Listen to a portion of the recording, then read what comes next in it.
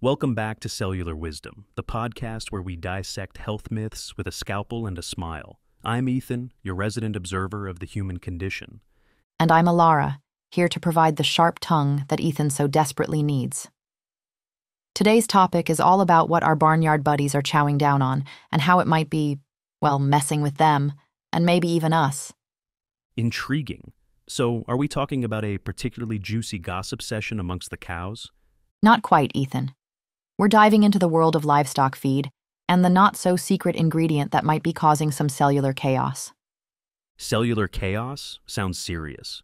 What's the culprit? Buckle up, because it's a mouthful. Polyunsaturated fatty acids, or PUFAs for short. Apparently, our modern livestock is getting a hefty dose of them in their feed. Now, PUFAs. Aren't those the good fats we're supposed to be eating? In moderation, yes. But the issue here is the sheer quantity and the source. These PUFAs are coming from things like corn, soybeans, and even a delightful byproduct called Don't tell me some kind of fermented. bingo, distiller's grains, basically the leftovers from ethanol production. Not exactly a gourmet meal for a cow, would you say? Sounds like something you'd find at the bottom of a particularly bad frat party keg. But how does this affect the animals? Well, for one, their body fat composition starts to mirror what they eat. So all those PUFAs translate to higher levels in their meat. So, are we talking about a marbling extravaganza? Sounds like a win for steak lovers. Hold on there, carnivore. The problem is that these PUFAs are fragile and prone to oxidation, which creates nasty byproducts that can wreak havoc on the animal's health. Nasty byproducts? Like what existential angst in the chicken coop? More like gut problems, oxidative stress, even damage to the brain. Not exactly a recipe for a happy cow. Okay, that's concerning. But what about us humans? Are we at risk from these PUFA laden animals? The research is ongoing, but the parallels are hard to ignore. After all, you are what your food eats, right? So, what's the takeaway for the health conscious consumer? If you can find low PUFA meat, especially from ruminant animals like beef or lamb, that might be a better choice. But ultimately, this whole situation highlights the importance of quality over quantity in our food system. A sentiment I can definitely get behind. Maybe next time we can dissect the myth of the miracle weight loss berry touted by some influencer with questionable credentials. Now, that sounds like a juicy topic for cellular dissection. Until then, stay curious and keep questioning those health claims, folks. So, let's delve deeper into this PUFA situation. You mentioned these byproducts of oxidation. What exactly are we talking about chemically? We're talking about things like malondialdehyde, or MDA, and other similar compounds. These are created when the PUFAs react with oxygen, especially when exposed to heat or light. Think of it like how oil goes rancid if you leave it out too long. Right, that unpleasant smell. So, these oxidized fats are already present in the feed before the animals even eat it? Exactly. The processing of the feed, especially things like drying the distiller's grains, can accelerate this oxidation process. And then, once the animal consumes it, further oxidation can occur during digestion. It's a double whammy. So, what are the specific effects on the livestock? You mentioned gut problems. Yes.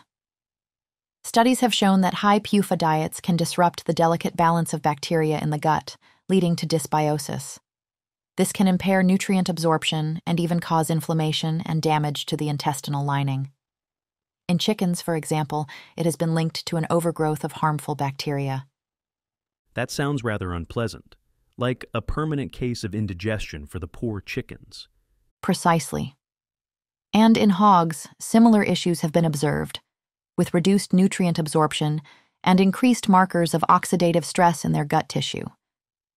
It's like their digestive system is constantly under attack. And this oxidative stress you keep mentioning, what does that mean in practical terms? It's essentially an imbalance between free radicals, which are unstable molecules that can damage cells, and the body's ability to neutralize them with antioxidants. When there are too many free radicals, it leads to this oxidative stress, which can contribute to a wide range of health problems. So, it's like the body's own internal fire going out of control. A good analogy. And this fire, so to speak, can damage not just the gut, but other tissues and organs as well. Studies have shown that high PUFA diets can impair the animal's natural antioxidant defenses, making them even more vulnerable to this oxidative damage. So, their bodies are less able to fight off these harmful byproducts? Precisely. It's a vicious cycle. The high PUFA intake leads to increased oxidation, which then weakens the body's ability to combat that oxidation. You also mentioned brain damage. That's particularly concerning. Yes, and this is where the research gets even more disturbing. Studies have shown that high PUFA diets, especially those high in linoleic acid, can significantly increase the PUFA content in the animal's brain tissue, and these fats in the brain are even more susceptible to oxidation. Because the brain is so rich in fat anyway? Exactly. And when these brain fats oxidize, it can lead to neurological damage. Studies in chickens have shown that maternal diets high in oxidized linoleic acid can cause severe neurological problems in their offspring, including ataxia, which is a loss of coordination, and encephalomalacia, which is a softening of brain tissue. That's truly alarming. It's like the feed is predisposing these animals to neurological problems from the start. Unfortunately, that's the implication. And it's not just the brain. Systemic oxidative damage has been observed throughout the animal's body, affecting various organs and tissues. So, what's being done to mitigate these effects? Well, the industry often adds high levels of antioxidants, like vitamin E, to the feed. This is meant to help protect the PUFAs from oxidation. So, problem solved then? Not quite. While these antioxidants can help to some extent, they can be depleted during digestion, allowing further oxidation to occur. It's like putting a small bandage on a much larger wound. And what about the economic side of all this? You mentioned these feeds are cheap. That's a key factor. Corn and soy are heavily subsidized crops, making them very affordable for livestock producers. And distillers' grains are a byproduct of another industry, so they're essentially a cheap way to add protein and fat to the feed. So, it's a system built on cheap inputs, even if those inputs have hidden costs. Exactly. The focus is on maximizing production and minimizing costs, often at the expense of animal health and potentially human health as well. It seems like a classic case of prioritizing short term profits over long term consequences. Unfortunately, that's often the case in industrial agriculture. But it's important to remember that these consequences don't just affect the animals. They affect the quality of the meat we consume, and potentially our own health as well. So, what are some practical steps people can take? You mentioned ruminant animals. Yes. Animals like cows and sheep have a different digestive system that naturally results in lower PUFA levels in their meat. So, choosing beef or lamb over chicken or pork can be one way to reduce your PUFA intake. And what about the broader picture? What needs to change in the food system? That's a much larger question, but it starts with recognizing the true cost of cheap food. We need to move away from this reliance on monoculture crops and industrial farming practices that prioritize quantity over quality. It sounds like we need a fundamental shift in how we think about food production. Precisely. We need to prioritize animal welfare, environmental sustainability, and human health, rather than simply focusing on maximizing profits. It's a complex issue with no easy solutions, but it's a conversation we need to be having. Absolutely. This whole discussion has certainly given me a lot to think about the next time I'm at the grocery store. As it should. It's about being an informed consumer and understanding the interconnectedness of our food system. What we feed our animals ultimately impacts us. It's a bit like that old saying garbage in, garbage out, but applied to the entire food chain. Exactly. And in this case, the garbage isn't necessarily literal trash, but rather an imbalance of nutrients and the resulting oxidative stress. It's a more subtle form of contamination, but no less significant. So, if someone is looking to minimize their PUFA intake, besides choosing ruminant meats, what other advice would you offer? Paying attention to cooking methods is important. High heat cooking, especially with oils high in PUFAs, can further accelerate oxidation. So, opting for lower temperature cooking methods like slow cooking or braising can be beneficial. That makes sense. You're not adding more heat to an already potentially oxidized product. Precisely.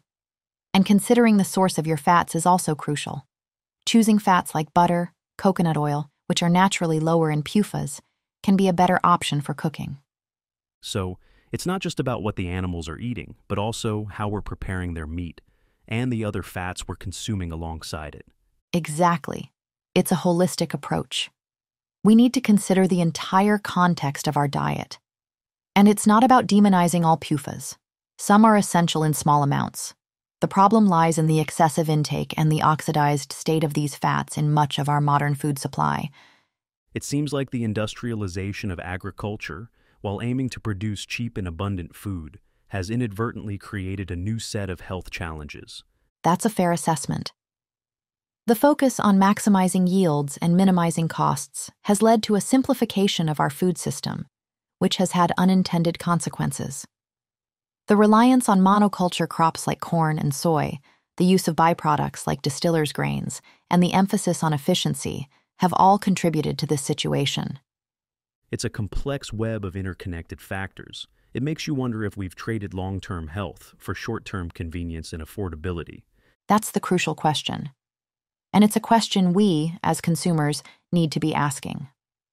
Are we willing to accept the potential health risks associated with this industrialized food system in exchange for cheaper food? It's a difficult question to answer, especially for those who are struggling to make ends meet. Access to affordable food is a basic necessity. Absolutely. And that's why this issue is so complex. It's not simply a matter of individual choices, it requires systemic changes. We need policies that support sustainable agriculture, prioritize animal welfare, and promote access to healthy food for everyone. It sounds like we need a complete overhaul of our food system. Perhaps not a complete overhaul, but certainly some significant adjustments. We need to move towards a more balanced approach that considers the long term health of both humans and the environment. It's a daunting task, but it's certainly a conversation worth having, and this whole discussion about PUFAs and livestock feed highlights the importance of understanding the complexities of our food system. Precisely.